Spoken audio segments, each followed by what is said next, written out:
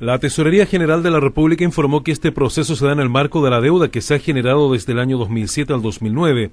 En ese sentido, se iniciaron las causas judiciales, las que se han ido cumpliendo de acuerdo a plazos establecidos previamente, lo cual terminará el próximo mes con el respectivo remate que en el caso de Melipilla, el María Pinto y San Pedro están siendo objeto de remate por el no pago de las deudas de, de, cuotas de contribuciones entre los años 2007, 2008 y 2009. Esto está, están, están acompañados en este momento en el Tribunal de Letras de Melipilla los expedientes respectivos. Ya se hicieron las publicaciones en el diario El Labrador.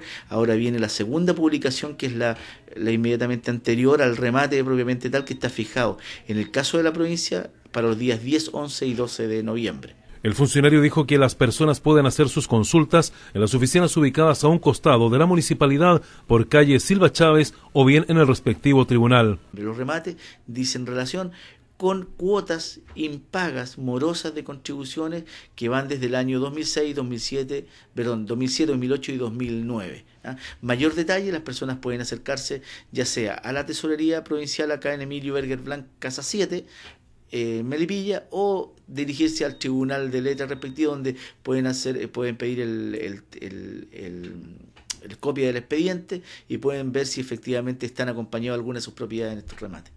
Cuello dijo que desde el año 2007 al 2009 hubo un acumulativo importante de viviendas, las que ahora serán rematadas al no haber cancelación por concepto de contribuciones. El proceso como tal está iniciado con un total de, en el caso de Melipilla, eh, Melipilla, San Pedro y María Pinto, sin contar Curacaví, en el proceso se inició con alrededor de 800 a 900 eh, roles de contribución. Los que están solicitándose, los que eh, dentro de este proceso de 900 existe un grupo que son los los, más urgentes para nosotros, que es alrededor de 300 roles, están siendo ya publicados, que es requisito esencial para hacer el remate propiamente tal, el primer, la, primera aviso de remate. Eh, obviamente estos van a disminuir al segundo aviso de remate y no podría yo calcular efectivamente cuáles son los que se van a ir a remate el día 10, 11 y 12 de noviembre próximo.